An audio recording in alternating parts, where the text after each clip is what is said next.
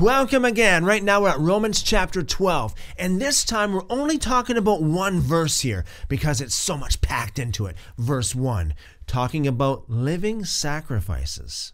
Paul says, Therefore I urge you, brothers, by the mercies of God, I urge you, hear that, I urge you by the mercies of God to present your bodies a living sacrifice. And there it is living sacrifice, holy, acceptable to God, which is your spiritual service. Some translations say reasonable service, reasonable act of worship, intelligent, rational, reasonable. This is your way of serving God. Now, I heard a lot of people talk about living sacrifices. You know, they use this as an excuse, more or less, to sin. They say, well, the only thing about living sacrifices is that living sacrifices have a tendency to crawl off the altar. You know, and so what they're saying is basically, you know, when you sin, you know, you just got to crawl back up on the altar because you're a living sacrifice.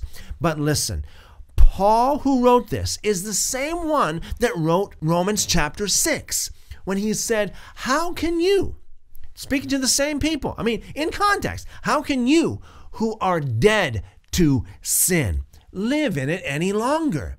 He also said in Galatians chapter 2, I am crucified. I have been crucified with Christ. Not I am in the process of being crucified. No, I have been crucified. I am crucified with Christ. Nevertheless, I live. Yet not I, but Christ lives in me. So, this is what the term living sacrifice really means it means you are sacrificed, you are dead to sin but you are living at the same time. You are born again. So the life you now live, if you are, if, that is a big if, if you are truly born again, the life you now live is a life of holiness, righteousness. You're living God's will, God's ways, God's law in and through your life. That is what makes you a new creation. You can say all of the old is gone and everything has become new. I am born again. You know, some people use this term living sacrifice to say, well, you know, more or less, I'll sin now, but I'll repent later. You know, uh, now I'm off the altar, now I'll crawl back on. You know, some people may say, well, I'm in the flesh now, but I'll repent later. I'll, you know, now I'm in the flesh and then I'm in the spirit. That is total nonsense. It is blasphemy against God. It is absolutely wrong. It's not what Paul said at all. That's not what he meant. Again, look at Romans chapter 6. Look at the book in Colossians when he talks about being dead to sin. Look in Galatians when he talks about being crucified. I have been crucified.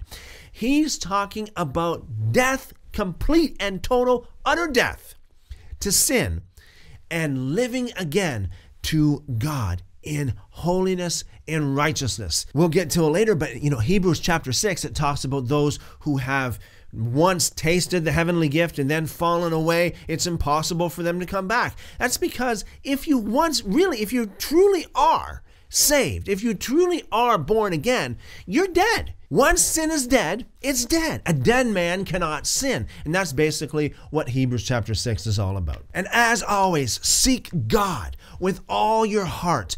And if you do, you will find him. Call upon him, and he will show you great and mighty things. Love you guys.